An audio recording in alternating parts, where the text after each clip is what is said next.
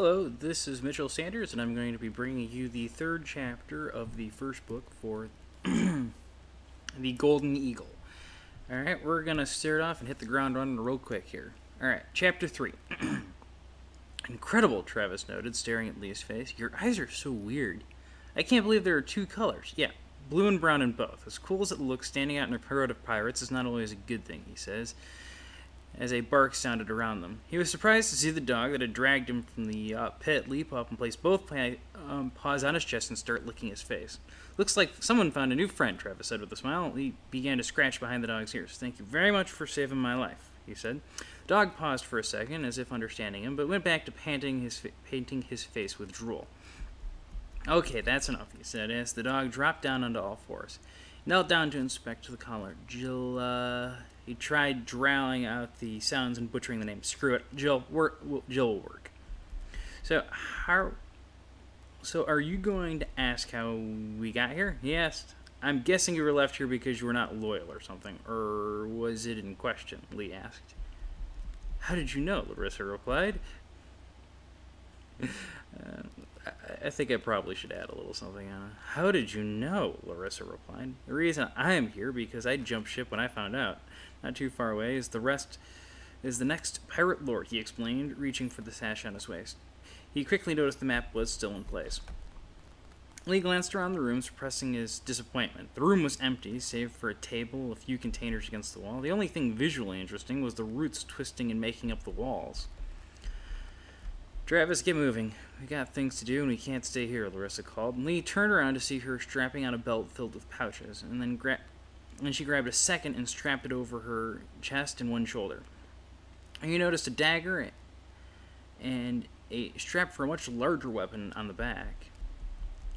Lee thought it better of inquiring about it, as he noticed a bit of a light came from a small hole in the roots. Hmm. Take it you're worried the trail of the dog dragging here will attract unwanted attention? We don't think, we know. If you are so much as injured, if you. we don't think we know. If you so much as injured one, they will retaliate. They have a nasty habit of being too damned organized. And since the dog dragged you here, we know for a fact that they are on their way. She said, marching forward. She cried out when a painted figure leaped down at her from the from the entrance. Larisa! Travis called out. James reached for his short sword but found it missing. Lee grabbed the surprise attacker, pushing past Larisa as Lee elbowed checked the man into the roots with James with James's sword slitting his throat. Blood spilled from down his neck, and following one massive stream, Larisa scrambled back, trembling in fear, as she watched the body drop limply. Relax, he's just dead, Lee said, rolling his eyes as he handed the weapon back to James, both in, both in silence. God, I really do need to work on my uh, actual skill with writing. Anyway, practice, practice, practice. Back to the story. Lee grabbed onto the grass outside of the hole and pulled himself out, aggravating his wound with the effort. James crawled out behind him, looking at his weapon still in his ha- hand. Keep an eye out. There should be at least three more hanging around. And Larisa's scream is sure to put them on alert, he advised. Lee rolled his eyes before glancing back and noticing that they were not being followed. Hurry up, we need to get moving, he called down. Jill rushed up, sitting at his side, looking at him. Well, you as well, but where are the others? Why am I asking you? He turned away as he still caught Travis giving him a concerned look. Catch a bit of the sun, Trev- Travis asked as Larisa crawled up from the hole. James was behind her. Sorry, had to move the body, he said, looking at his brother. Why in the world? Lee mouth. Travis only shook his head. Fine. Do you have a place to go, or are you just booking it? Not sure. Depends on your intentions, Travis admitted, taking point. My intentions? Lee replied. Yeah, do you plan on sticking around or going off on your own? If you stick with us, we'll lead. We will lead, but we have our safe spots and we plan to keep. but we have our safe spots and we plan to keep them, James replied. I have a very stupid plan. But I need a rough estimate as to where I am exactly, Lee said. You got a map? Nah, a good one, but it serves, he admitted. What do you have in mind? I'm risking the bog for the castle in the middle of the island, Lee, but it causing the other three to stop. The mortal gargoyle, James stammered out. Let's try that again. The, the, the, mortal gargoyle? James stammered out, inclining his head as to get a better look at Lee. I don't plan on fighting him, Lee said, his mouth twisting with a smirk. I'm crazy, but I'm not that stupid. Look, you're crazy if you think you can solo where armies have failed, Travis said, stepping forward to cow him away from his idea. This is a suicide mission. Yeah, well, it's my only hope of getting off this island alive and, and well, he replied. You would be better off waiting for another ship to come in. Not really. Anyone on the island is going to die, be it from old age or bold action. There is not rescue unless someone stumbles across this island, and even then it's not much of a chance, since we are close to the center of the archipelago. This is one of the most dangerous places to travel. Only pirates will come to this island, and then only potential pirate lords. And they will not take you off this island, Lee said. There's no boat at the center of the island. Look, that's true.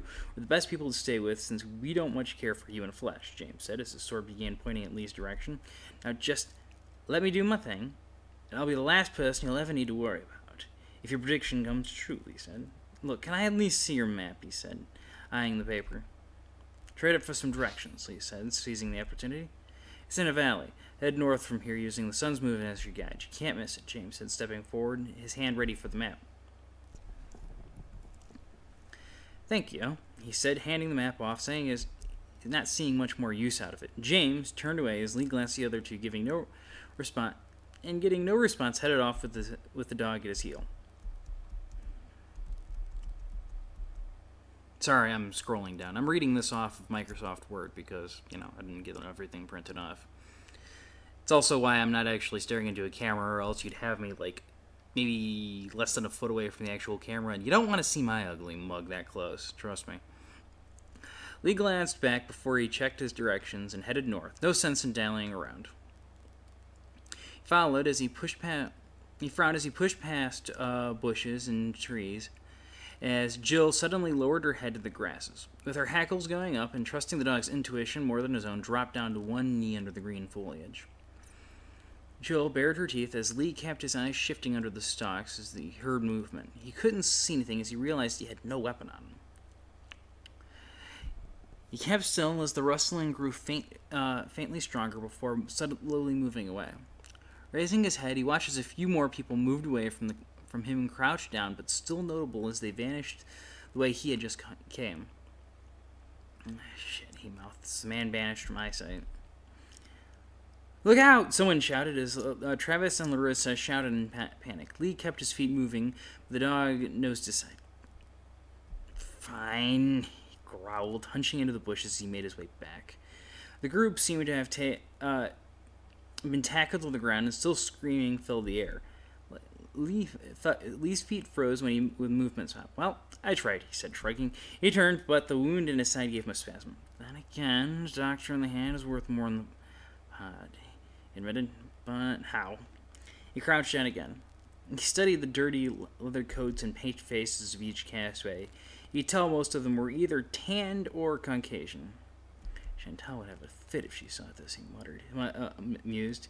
Out of the uh, six, there were three with cutlasses, one with a spear and leather shield, another with a regular bow, while the last had a crossbow. He watched them shove, shove James forward, grabbing the map and his weapon. The group seemed much more organized. The crossbow was standing above them a good distance, keeping a lookout. The bow was doing the same, but was a bit more focused on the three before him. The so- swords were behind them, and the spears spear was looking at the map. This would be so much more easier if I had a comic book drawer or something like that. Oh well. Lee uh, looked up, and there was lots of daylight, and the full scale of the island was still not in his scope. He wanted to keep trouble to a minimum, and he needed to act fast. Lee glanced down to see Jill lying flat on her belly. Let's see how smart you are. Stay, he ordered, pointing downward before he walked away. Lee kept moving, using his, the trees as cover. He could hear quiet murmuring below him. He ignored it, making his way back to, behind the uh, crossbowman. There's another guy honest. There's a small group, but he. there was another guy honest. We are just a small group, but he left. He's headed to the bog, James shouted as Lee poked his head around a tree. I very much doubt that, a cold voice said, pushing James forward. One of the castaways began to thumb the blade. Where is your fourth member? I will not ask again, he screamed. Where is your fourth member? I will not ask again, he screamed, but James didn't change his story.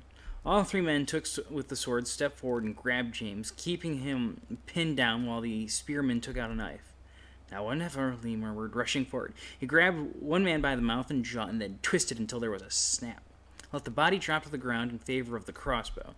He held it upright as a scream pierced the air. Wincing, he kept himself from re- uh, reaching for his ears by force of will. Glanced over and saw James falling to the ground, clutching at his hand. Blood spilled. Well, he howled at the top of his lungs. Spearman decked him, forcing James to fall silent while cradling his hand close. I'll take another. Where is he? Where's the man with the dog? I don't know, he cried out. Lee counted his blessings and crept back into hiding. Uh, boss, one swordsman said as the spearman stopped questioning James and turned around. What? he shouted before noticing the dead body. Lee watched from the cover of his leaves as the bowman latched an arrow and began scanning. Lee lined up a shot and fired. As a low thump was all that could be heard from the second body dropping as a, before a second body dropped to the ground. Blood screamed out as his bolt lodged in his throat. The man was clawing at his neck in an attempt to stop the bleeding. Where are you? Come out and fight like a man, or I'll cut your friends open, the spearman screamed as the spearman knelt down to examine the fallen bo- bowman. Bolt came from there, he examined, pointing into the bushes. The swordsman quickly moved in on Lee's location, while the third rema- uh, remained to keep James pinned. Lee whistled and Jill Lee whistled and Jill barked, appearing from the other side. Sick of me, shouted, his voice echoing while the dog charged the swordman that had James pinned. He brought the weapon around, but Jill bit down on the man's wrist, tackling him to the ground as a loud bone crunching crack came down between the dog's teeth. Ooh. The spearman spun around to stab at the attacker as James grabbed the sword that they neglected with his blood smear, uh, smeared right. He grabbed the sword at the level of dexterity nobody thought possible and impaled the, the uh, spearman. This is why I'm not a professional, people. the spearman spun around to stab at the attacker as James grabbed the sword they had neglected. With his blood smeared right, he grabbed there should be the there. Grabbed the sword, and with a level of dexterity nobody thought possible, impaled the spearman. Just goes to show you can edit this thing three or four times and you will still find mistakes. Not to mention my lips being the cause of quite a few of them on these vocal things, which is why I, you know, said screw it and just decided to bull rush through. Anyway, back to the story. Sorry for the mistake. Jill uh, barked down as Travis grabbed one of the man's legs and pulled him off his brother. Jill wagged her tail and continued to pull in the opposite direction. Are you kidding me? Now is not the time, Travis said as her as his brother crawled out from uh, under the uh, howling man. Lee didn't waste a second when the two stopped to attack James. He grabbed onto one by the wrist and shoving his uh, own sword into his body. The second was a bit slower to react. James scrambling to reclaim his own weapon as he managed a, sl- a slight lunge, clutching his Okay, yeah, this is gonna put me out of the clutching his.